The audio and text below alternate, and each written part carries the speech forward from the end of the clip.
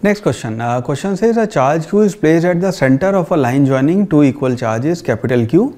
Uh, system of the three charges will be in equilibrium if uh, small q is equal to और हमें चार option दे रखे हैं again बहुत simple सवाल है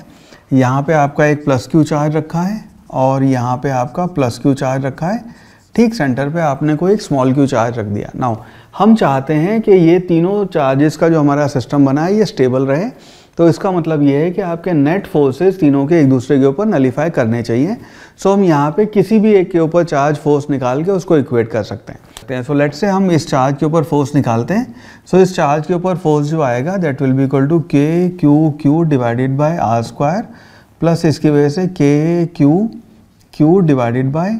two R square और ये net force equal to zero होना चाहिए। ना इसके इसके बिना पे हम ये कह सकते हैं ये क्यू क्यू आएगा capital Q right so R square bill का ये टू आर का स्क्वायर ऐसे है सो so नाउ अगर इसको हम इक्वेट करें, इसको उस तरफ़ ले जाएँ तो के विल गेट कैंसिल एक क्यू कैंसिल और आर स्क्वायर कैंसिल हो जाएगा। सो so, हम यहाँ पे लिख सकते हैं Q will be equal to minus times Q by four